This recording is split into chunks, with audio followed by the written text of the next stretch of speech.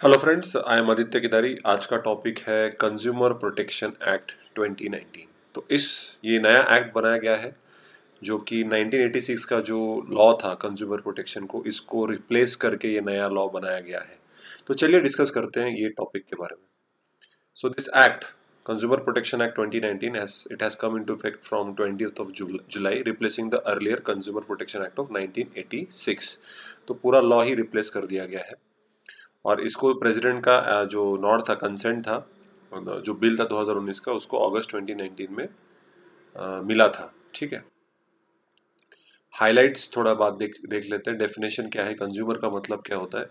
Consumer is defined as a person who buys any goods or avails a service for a consideration तो एक ऐसा इंसान जो कि कोई भी गुड्स गुड्स बोले तो कोई भी चीज़ खरीदता है जैसे कि अगर मैं मोबाइल हो गया या कोई सर्विस खरीदता हूँ मैं सर्विस का इस्तेमाल करता हूँ, किसी कारपेंट यू नो कारपेंटर हो गया, कोई सॉफ्टवेयर कंपनी हो गई, कोई टूरिस्ट कंपनी हो गई तो मैं सर्विस अवेल कर रहा हूँ और उसके लिए मैं कोई कंसिडरेशन दे रहा हूँ। कंसिडरेशन मतलब पैसे।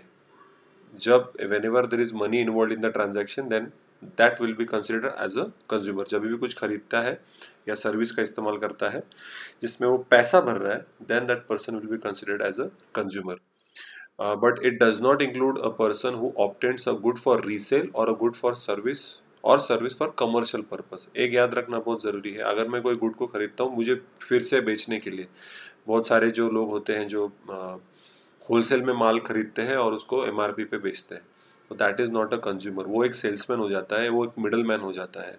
करेक्ट और अगर मैं कोई सर्विस भी इस्तेमाल करता हूँ मेरे कमर्शियल पर्पज़ के लिए, मेरे बिज़नेस के लिए, जो कि आगे जाके मैं और कुछ उस सर्विस का इस्तेमाल करके या गुड का इस्तेमाल करके मैं खुद बिज़नेस कर रहा हूँ। तो मैं एक बिजनेसमैन हो जाता हूँ, मैं एक सेल्समैन हो जाता हूँ, मैं एक वेंडर हो जाता हूँ, मैं कंज्यूमर नहीं रहता।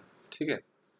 So it covers transaction through all modes including offline and online through electronic means teleshopping multi level marketing or direct selling तो ये बहुत ही बड़ा रिवोल्यूशन है एक तरीके से कंज्यूमर प्रोटेक्शन में, जहाँ पे online transactions online e commerce जो है, उसको भी कवर किया गया है फॉर कंज्यूमर प्रोटेक्शन तो इसी के लिए अगर आप ई कॉमर्स में आपको कोई गलत प्रोडक्ट या गलत सर्विस का मिलती है तो आप कंज्यूमर कोर्ट अभी जा सकते हो। तो six consumer rights have been defined छः अलग तरीके से राइट्स डिफाइन किए गए हैं इस लॉ में, वो है राइट टू सेफ्टी कंज्यूमर्स की सेफ्टी बहुत ज़्यादा इंपॉर्टेंट होती है। Next is right to be informed they should be informed about the product कि वो कौन सा प्रोडक्ट खरीद रहे हैं, उसके बारे में उनको सारी इन्फॉर्मेशन होना बहुत ज़्यादा, बहुत ज़रूरी है। राइट टू चूज़ ऑब्वियसली उनके पास ऑप्शन होने चाहिए। एक ही, अब जब मैं मोबाइल खरीदने जाता हूँ तो मेरे पास चार पाँच ऑप्शन होने चाहिए एटलीस्ट जिस, जिसमें से मैं चूज़ कर सकता हूँ depending upon my financial capacity ठीक है? राइट टू बी हर्ड कभी भी अगर मुझे किसी भी चीज़ का प्रॉब्लम है तो मेरी बात सुननी चाहिए। एटलीस्ट अगर सेल्समैन नहीं सुनता है तो एटलीस्ट कोर्ट में या सिविल कंज्यूमर कोर्ट में सुनना चाहिए। तो राइट टू बी हर्ड एक अनदर इंपॉर्टेंट राइट है। राइट टू सीक रेड्रेसल अगर मैं नाखुश हूँ, किसी गुड से या किसी सर्विस से मैं हैप्पी नहीं हूँ तो मैं किधर I should be able to file a complaint कोई तो भी कंप्लेंट का जहाँ पे मैं कर सकता हूँ, और वो कंप्लेंट का मुझे रिड्रेसल मिलता है। मतलब उसका कोई सोल्यूशन मिलता है। ठीक है? और उसके बाद राइट टू कंज्यूमर एजुकेशन आज के डेट में जैसे जागो ग्राहक जागो जैसे हम बोलते हैं तो कंज्यूमर की एजुकेशन बहुत ज़्यादा इंपॉर्टेंट है। स्पेसिफिकली आप जब ई कॉमर्स इलेक्ट्रॉनिक प्लेटफॉर्म पे कोई चीज़ें खरीदते हो तो उसके बारे में लोगों को मालूम होनी बहुत ज़्यादा ज़रूरी है। तो इन शॉर्ट में मैंने ये ये चार्ट है जिसको डिस्कस करते हैं। तो दोनों लॉज में फ़र्क क्या है? 1986 का लॉ और 2019 का लॉ। तो बेसिकली जो सबसे बड़ा फ़र्क है तो पहले वाले लॉ में कोई रेगुलेटर नहीं था। There was no separate regulator लेकिन अभी there is a central consumer protection authority वो फॉर्म करने वाले हैं, जो कि रेगुलेट का काम करेगा। वो देखेगा कि ये जो कंज्यूमर प्रोटेक्शन एक्ट है, इसको सही तरीके से सुपरवाइज कर रहा है, सही तरीके से मॉनिटरिंग कर रहा है, ताकि इसका इम्प्लीमेंटेशन सही तरीके से हो।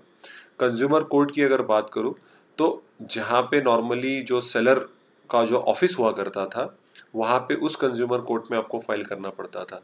तो अगर मैंने कोई दिल्ली से कोई चीज़ खरीदी और मैं मुंबई में बैठा हूँ तो मुझे दिल्ली में केस फ़ाइल करनी पड़ेगी। मैं मुंबई में केस फ़ाइल नहीं कर सकता। तो जो कंज्यूमर था ओके उसको बहुत प्रॉब्लम आता था। वो डरता था कि भाई मैं कोई चीज़ अगर बाहर दूसरे गाँव से लेता हूँ even I am sitting in Mumbai and I buy something from Nagpur or from Pune तो मुझे पुणे या नागपुर जाना पड़ेगा। लेकिन अभी वो चेंज कर दिया है। जो, जहाँ पे जो कंप्लेनेंट है, जो कंज्यूमर है, जो जहाँ रहता है या जहाँ पे वो काम करता है, अगर मैं यहाँ पे मुंबई में बैठा हूँ और मैं दिल्ली से कोई चीज़ ऑर्डर करता हूँ तो मैं मुंबई में ही मैं केस फ़ाइल कर सकता हूँ और जो सेलर है सेल्समैन है, उसको मुंबई में आना पड़ेगा। तो this is a very big change ये बहुत ही कंज्यूमर प्रोटेक्शन के लिए बहुत ही बढ़िया एक डेवलपमेंट है। प्रोडक्ट प्रोडक्ट लाइबिलिटी के बारे में बात करूँगी वो प्रोडक्ट की लाइबिलिटी कितनी है तो कंज्यूमर प्रोटेक्शन एक्ट 1986 में उसके बारे में कुछ भी कहा नहीं गया था। लेकिन अभी अगर प्रोडक्ट ठीक नहीं रहा तो कंपनसेशन भी मिल सकता है for a product or for any particular service जिसकी वजह से अगर आपको नुकसान होता है तो उसका आपको कंपनसेशन भी मिल सकता है। 2019 के लॉ के हिसाब से। तो जो पिक्यूनरी जुरिस्डिक्शन था मतलब जो स्टेट लेवल नेशनल लेवल और डिस्ट्रिक्ट लेवल पे जो डिफरेंट फोरम्स है जहाँ पे आप कंप्लेंट कर सकते थे तो उसके पिक्यूनरी जुरिस्डिक्शन अगर आप दोनों में देखोगे तो 1986 का पिक्यूनरी जुरिस्डिक्शन बहुत कम था। मतलब डिस्ट्रिक्ट लेवल पे it was up to 20 lakh state level it was from 20 lakh to 1 crore और national level was above 1 crore लेकिन आज के डेट में जो 2019 का वो पूरा पिक्यूनरी जुरिस्डिक्शन चेंज कर दिया है। डिस्ट्रिक्ट लेवल पे ही वन करोड़ तक है। स्टेट लेवल पे वन टू टेन करोड़ और नेशनल लेवल पे अबाउट टेन करोड़ तो अभी हम सब देख सकते हैं हमारा जीडीपी इनकम सब बढ़ रहा है बिज़नेस बढ़ रहा है। तो इसीलिए ये जो पिक्यूनरी जुरिस्डिक्शन है, उसमें काफ़ी चेंज आया है। अगर आप देखोगे, यहाँ पे नेशनल लेवल पे एक करोड़ के अबाव आप जा सकते थे, अभी तो आप डिस्ट्रिक्ट लेवल में अप टू एक करोड़ तक तो आप आराम से केस फ़ाइल कर सकते हो। ठीक है? ई कॉमर्स के लिए जैसे मैंने कहा कोई भी प्लेटफॉर्म नहीं था, कोई भी प्रोविज़न नहीं था 1986 के लॉ में। लेकिन 29 में प्रॉपर सारे रूल्स एंड रेगुलेशंस हैं ई कॉमर्स के लिए। तो अगर आपको, जैसे मैंने कहा ई कॉमर्स प्लेटफॉर्म पे अमेजोन फ्लिपकार्ट पे भी कोई भी प्रॉब्लम आता है तो आप कंज्यूमर प्रोटेक्शन एक्ट के अंदर जा सकते हो। मीडिएशन भी कर सकते हो। उसके लिए 1986 में कोई प्रोविज़न नहीं था। लेकिन 2019 में मीडिएशन का मतलब एक इंडिविजुअल होता है, जो दो पार्टीज़ अगर डिस्प्यूट होती है तो डायरेक्टली कोर्ट में कंज्यूमर कोर्ट में जाने से बेहतर है कि आप उस मीडिएटर के पास जाते हो। तो मीडिएटर क्या करता है? वो दोनों पार्टीज़ को साथ में बुलाता है और उनका दोनों को हेल्प करता है एक सोल्यूशन लाने के लिए। तो मीडिएशन से भी एक बोल सकते हैं आउट ऑफ़ कोर्ट सेटलमेंट किया जा सकता है, जहाँ पे ये मीडिएटर जो है, दोनों पार्टीज़ की बातें सुन के, दोनों को एक जगह पे बैठा के एक सोल्यूशन लाने में हेल्प कर सकता है। वो खुद सोल्यूशन नहीं देता है मीडिएटर मीडिएटर खुद कोई सोल्यूशन नहीं देता है, दोनों पार्टीज़ को सोल्यूशन में लाने में हेल्प करता है। दैट्स अ बिग डिफरेंस ठीक है? मीडिएशन मीडिएटर सिर्फ़ सुनेगा और बोलेगा, आप एक सोल्यूशन फाइंड आउट करिए कोर्ट में जाने की ज़रूरत नहीं, क्योंकि कोर्ट में जैसे already pendency of courts pendency of cases कुछ कम नहीं है, ठीक है? तो जो सेंट्रल कंज्यूमर प्रोटेक्शन अथॉरिटी है, जो कि टू ट्वेंटी नाइनटीन के एक्ट में जिसको फॉर्मुलेट करना है, उसके बारे में बात करते हैं। It is going to set up central government इसको सेटअप करने वाला है to promote protect and enforce the rights of consumer जैसे मैंने बताया कंज्यूमर्स के राइट्स को बचाने के लिए ये फॉर्मुलेट करने वाला है इस्टेब्लिश करने वाला है। It will regulate matters relating to violations of consumer rights, unfair trade practices and misleading advertisements. ठीक है? तो अभी आप देख सकते हैं बहुत सारे एडवर्टाइजमेंट जो मिसलीडिंग होते हैं उसके ऊपर ज़्यादातर कार्रवाई कुछ होती नहीं है लेकिन अभी होगी। ठीक है? सो ये सी सी बेनिफिशियल रहेगा। तो C will have an investigation wing which will be headed by director general ठीक है? डी जी उसको हेड करेगा। जो कि जो भी इंक्वायरी है इन्वेस्टिगेशन है वो सब वो खुद करेगा। सो so ये तो बढ़िया प्रोविज़न है जहाँ पे ये सीसीपीए खुद इन्वेस्टिगेशन करने वाला है। सो so, अगर आप देखेंगे तो पुलिस से थोड़ा सा वर्कलोड थोड़ा कम कर दिया है। इसके लिए अलग से इनका एक विंग रहेगा जहाँ पे इन्वेस्टिगेशन कैरी आउट होगा। जैसे मैंने कहा इंक्रीज कंपनसेशन भी है। अभी अगर सीसीपीए में impose a penalty on a manufacturer or a endorser of up to rupees ten lakhs and imprisonment up to two years for a false or misleading advertisement अगर आप गलत एडवर्टाइज करते हैं, दस लाख तक का आपको पेनल्टी मिल सकता है, आपको दो साल की सज़ा हो सकती है। तो बहुत ही बहुत ही स्ट्रिंजेंट रूल्स बनाए गए हैं। अगर आप कोविड नाइन्टीन में भी देखेंगे तो कोरोनिल करके कुछ एक एक मेडिसिन लॉन्च कर गई थी, पतंजलि ने कह के कि भैया ये तो कोरो, कोरोना को अच्छा कर देता है। तो इसके बारे में कोई कॉन्क्रीट एविडेंस मिला नहीं और उसके बाद वो मेडिसिन को ही एक तरीके से सीज कर दिया गया, उस पर बैन ला दिया गया। इसके लिए कोई एडवर्टाइजमेंट्स की हो नहीं रही। ऐसा अभी नहीं चलेगा। आपको दस लाख तक का कंपनसेशन भरना पड़ेगा या दो साल की सज़ा भी हो सकती है। और अगर आप आ, करते जा रहे हो मिसलीडिंग एडवर्टाइजमेंट्स करते जा रहे हो तो पचास लाख तक आपको पेनल्टी आप भर सकते हो या पाँच साल की आपको सज़ा हो सकती है। तो अभी आप देख सकते हो कि जो कंपनसेशन या जो आपकी पेनल्टी है वो बहुत ज़्यादा बढ़ा दी गई है देन द नॉर्मल 1986 एक्ट ठीक है? तो ये कंज्यूमर डिस्प्यूट रिड्रेसल कमीशन ये और एक बॉडी है जो कि आपके डिस्प्यूट्स को रिड्रेस करने के लिए बनाई गई है। तो इसके बारे में देखते हैं। The C D R Cs will be set up at the district state and national level her district में रहेगा, पुणे, मुंबई, नागपुर, महाराष्ट्र में या Delhi, Bangalore, Chennai. A consumer can file a complaint here ठीक है? किस बारे में? आप ये जो सी डी आर सी है यहाँ पे, जैसे मैंने बताया, किस बारे में आप कंप्लेंट फ़ाइल कर सकते हो? अनफेयर और रिस्ट्रिक्टिव ट्रेड प्रैक्टिस अगर कोई अनफेयर चीज़ें हो रही हैं तो डिफेक्टिव गुड्स और सर्विसेज़ आपको कोई गुड्स जो मिले हैं वो ठीक नहीं है या सर्विस अप टू एक्सपेक्टेशन नहीं है। ओवर चार्जिंग और डिसेप्टिव चार्जेस ठीक है? आपको ओवर चार्ज किया जा रहा है, जैसे भी कोविड नाइन्टीन में सडनली आपको ऐसा गवर्नमेंट ने बोला कि कोई भी अगर आपको फॉर एग्जांपल वेजिटेबल्स जो नॉर्मल रेट में मिलने चाहिए suddenly potato which is forty fifty rupees पर के जिसको सडनली दो सौ, तीन सौ रुपये में अगर बेच रहे हैं तो उसके लिए आप इनके पास कंप्लेंट कर सकते हैं। तो offering of goods or services for sale which में भी hazardous to life and safety जैसे मैंने बोला one of the right of safety अगर कोई चीज़ ऐसी बेची जा रही है, ऐसी कोई सर्विस दी जा रही है, जिसकी वजह से आपकी जान को खतरा है, आपकी सेफ्टी को खतरा है तो उस चीज़ के बारे में भी आप कंप्लेंट कर सकते हो। अब अपील कहाँ कहाँ कर सकते हो? So complaint against an unfair contract can be filed only at the state and national level contract point of view से जो अनफेयर कॉन्ट्रैक्ट है अनफेयर प्रैक्टिस अलग होते हैं अनफेयर ट्रेड प्रैक्टिस अलग होते हैं। अनफेयर कॉन्ट्रैक्ट मतलब कॉन्ट्रैक्ट ही गलत है। तो आप डायरेक्टली सिर्फ़ और सिर्फ़ स्टेट और नेशनल लेवल पे ही आप उसको फ़ाइल कर सकते हो डिस्ट्रिक्ट लेवल पे। इसको कोई आपको सोल्यूशन नहीं मिलेगा। Appeals from a district CDRC will be heard by the state CDRC and appeals from the state CDRC will be heard by the national CDRC मतलब district to state state to national level ऐसे आप appeal कर सकते हो। CDRC अभी हमने देखा consumer dispute redressal commission ठीक है? Final appeal will be before the supreme court. तो नेशनल सीडीआरसी से आप डायरेक्टली सुप्रीम कोर्ट में जा सकते हो। यहाँ पे हाई कोर्ट का कोई लेना देना नहीं है। प्लीज़ याद रखिएगा, डायरेक्टली अपील, फाइनल अपील जो होगी वो सुप्रीम कोर्ट के पास होगी। जुरिस्डिक्शन जैसे मैंने आपको बताया प्यूकिनरी रजिस्टर मैंने आपको स्टार्टिंग में बता दिया था कि अगर डिस्ट्रिक्ट सीडीआरसी होगा तो up to one crore state CDRC होगा तो एक करोड़ से दस करोड़ तक, और नेशनल लेवल होगा तो दस करोड़ के ऊपर का अगर कुछ घफला हुआ है तो आप national consumer dispute redressal commission में केस फ़ाइल कर सकते हैं। मीडिएशन के बारे में जैसे मैंने आपको पहले भी बताया, ये प्रोवाइड करता है मीडिएशन के लिए, जिसके वजह से एक अर्ली सेटलमेंट हो सकता है, क्योंकि कोर्ट में जाने की ज़रूरत नहीं। बट इसमें इंपॉर्टेंट क्या है, दोनों पार्टीज़ ने एग्री करना चाहिए। जो मीडिएटर होता है, वो सिर्फ़ हेल्प करता है दोनों पार्टीज़ को, वो खुद एक डिसीज़न नहीं देता है। Mediation cells can be attach to consumer commission ये जो डिस्ट्रिक्ट लेवल स्टेट लेवल और नेशनल लेवल में जो सी है उनको ये अटैच रह सकता है। And it is going to be called as consumer mediation cell तो सीडीआरसी से जाने से पहले ही आपको मीडिएशन के लिए आपको भेजा जा सकता है।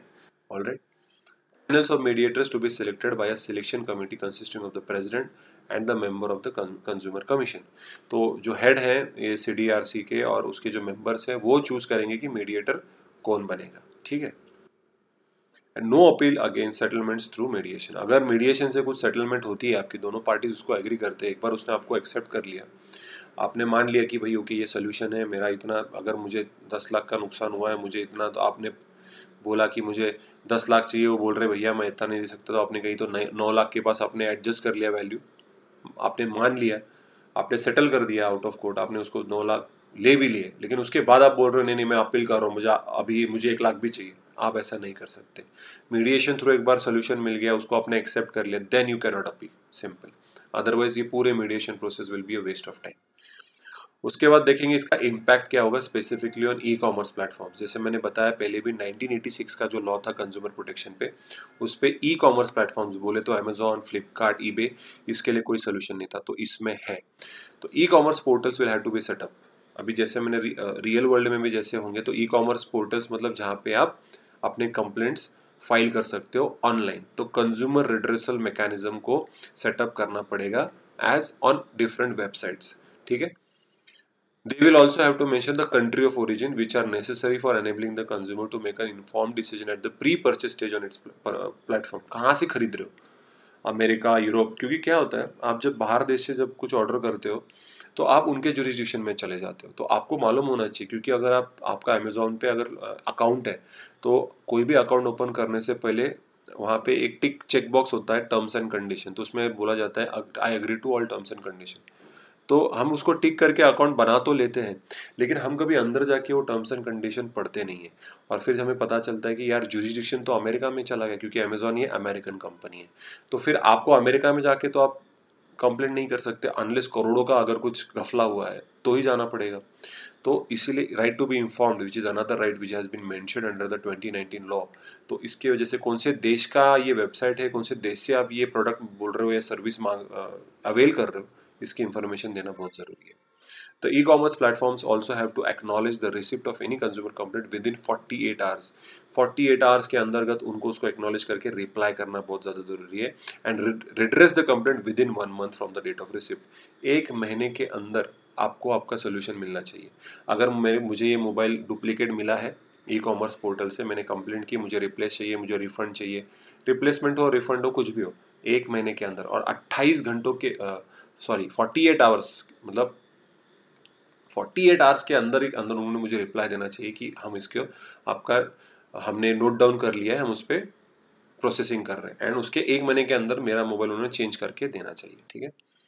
प्रोडक्ट लाइबिलिटी की जैसे मैंने बताया कि जो एटी सिक्स का लॉ था, उसमें प्रोडक्ट लाइबिलिटी के बारे में कुछ भी नहीं बोला जा रहा है। लेकिन इस केस में प्रोडक्ट हो या सर्विस हो, अगर so, the seller will be held responsible to compensate for injury or damage caused by defective product or deficiency service.